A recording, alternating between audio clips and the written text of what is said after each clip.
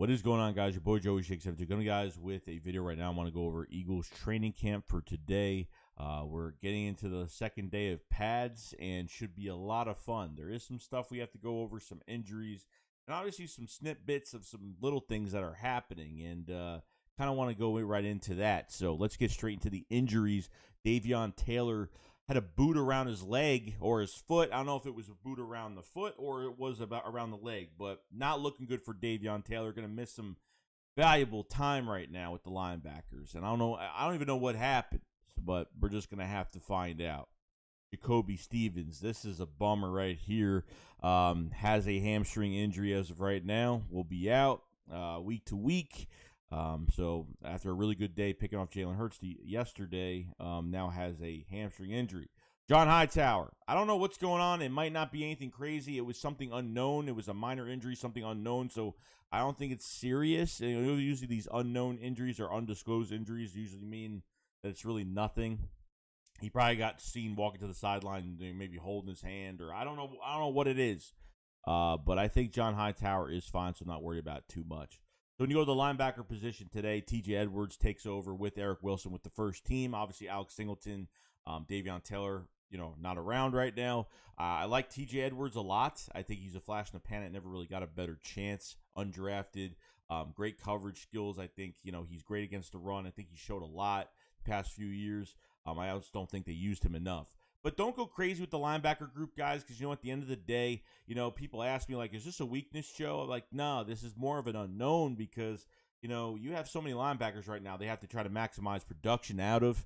So don't be like surprised if they put a linebacker there that they ne- necessarily wouldn't have in the first team. They're going to move guys around. They're going to try to move guys around where it makes sense and get as much production and get and kind of you know. Ex- let these guys fly around, you know what I mean, and, and get their skill sets up and, you know, see what these guys got. That's it's all about development right now. So if they're gonna be moving a lot of guys to the first team defense, just let them do that. They're gonna do that for a while now.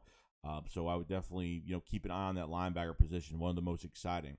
Then you got Joe Flacco. And Joe Flacco has probably been had a really good camp. You know, I, I wasn't like horrible uh, hard about this signing at all. Like I liked it. I thought it was reliable um, you know, and didn't really cost that much. But you know, your backup quarterbacks are important too, and the Eagles value the backup quarterback position. And why not have Joe Flacco? Do I think he could take over a whole season? No. Do I think he could take over a couple games? Definitely. Do I think he could run an offense? Definitely. I think everything's got to be almost perfect around him because he really isn't mobile anymore. But um, you know, Joe Flacco's had a long career, you know, and you know has a lot of family in Philadelphia, and had a really nice touchdown to Greg Ward today. Really nice touchdown. So uh, happy with that. Greg Ward's had a pretty solid camp as well.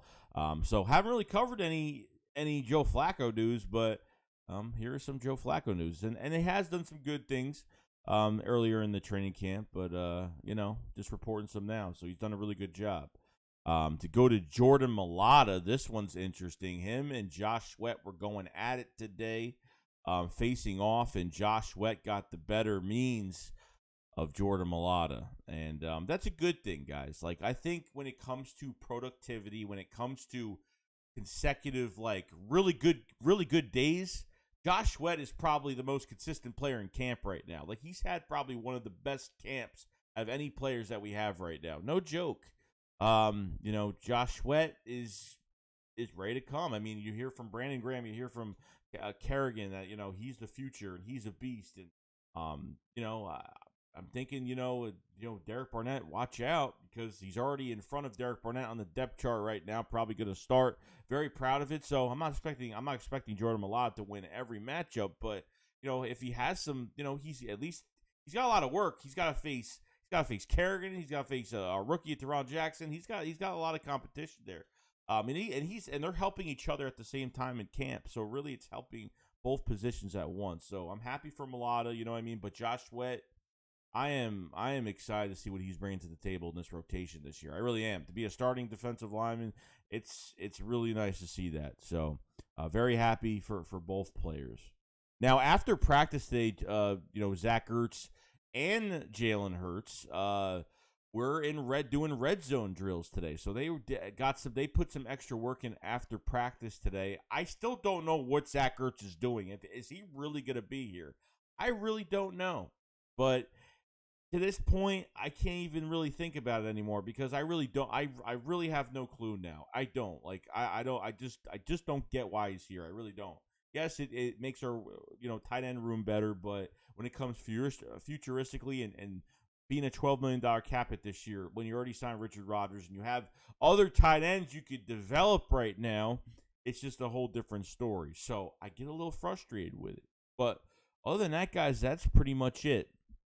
Um, obviously, we had some little snippets last night on some big news about some rumors about Deshaun Watson. I know everybody's kind of flipping out about that right now, but that's pretty much the news for today. Um, and actually, I've actually forgot the most important thing as of right now, um, and that was Jalen Reagor. I don't know why I was just trying to end it. I totally just had a brain for it. Sorry about that.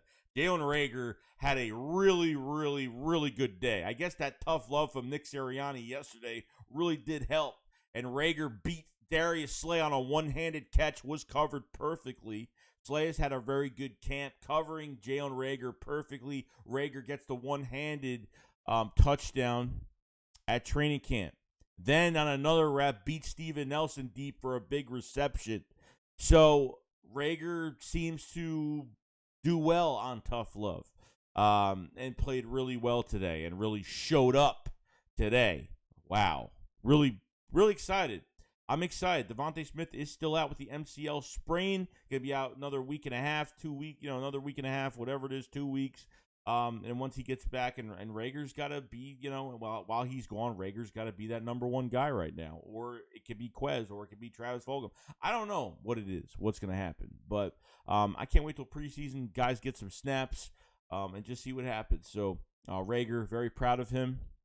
I'm praying he works out. I'm praying that he has a vengeful year this year. I, I really do. Like he, I have a feeling he's going to complement DeVonta Smith really well. It's not even just him; it's all these receivers. Like they're all going to complement each other well because they're going to be playing every wide receiver position. They're all going to be hungry. They're all going to bring swag to this offense. And Hurts is just going to be the ending piece to it. So it, it's it's fantastic, and I'm happy for Reagor. I hope he has more days like this. I really do. But other than that, that's pretty much it, guys. Now I'm going to end it the normal way. I will see you guys later. Six code up, flawless fly. Peace out, guys. Peace.